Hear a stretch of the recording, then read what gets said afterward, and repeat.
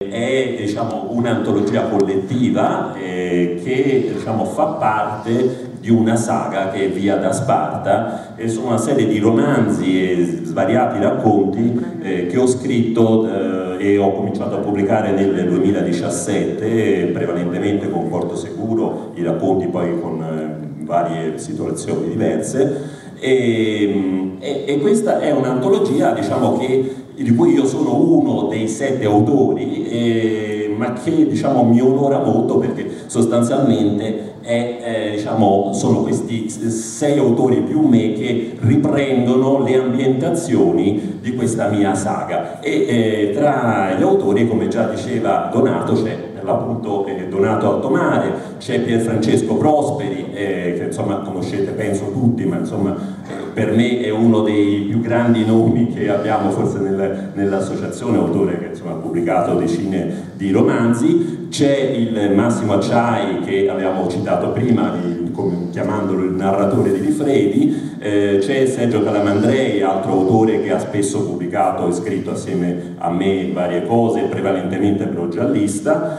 eh, c'è una um, ragazza di quarantenne credo, eh, Linda Lercari, molto brava, che si muove su fronti estremamente vari, eh, dalla fantascienza all'erotico, al giallo, allo storico, al storico poi di esotico, il giapponese, tant'è vero che il racconto suo qua riprende sì, il Giappone, sì, c'è un, un, autore ucronico, eh, Paolo Ninzati, e, e, direi che l'ho detti tutti. Di cosa parla? Cioè, la saga di Via da Sparta parte da un'idea. Eh, immaginiamo come sarebbe il mondo ai giorni d'oggi se eh, 2400 anni fa eh, Sparta avesse cancellato la cultura ateniese. Quindi io immagino una ricostruzione storica eh, riportata avanti di, di, secoli eh, con tutti i cambiamenti che ne sono conseguiti, quindi una società totalmente diversa, sia come organizzazione sociale, sia come organizzazione economica, la tecnologia è un'altra, eh, quindi prevalenza della, tanto per dire dell'ingegneria genetica e elettronica assente, eh, basato su appunto, principi veramente del tutto eh, diversi ma insomma andatevi a leggere.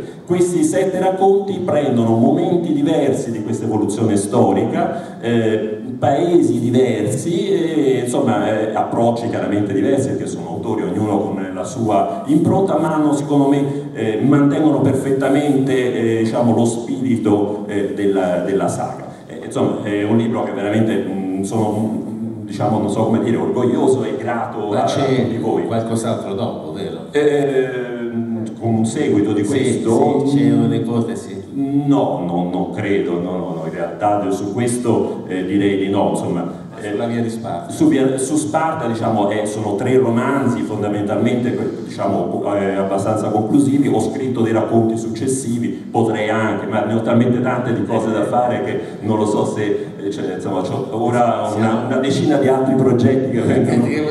Sì, sì, tra l'altro di antologie ne ho curate anche altre, ho sì, sì, questa su Dante, dove sì, sì, abbiamo sì. donato Altomare, di nuovo Prosperi, e, insomma 36 autori è stato un bel lavoro impegnativo certo. per i 700 anni della morte di Dante. Ok, Grazie. vi ringraziamo.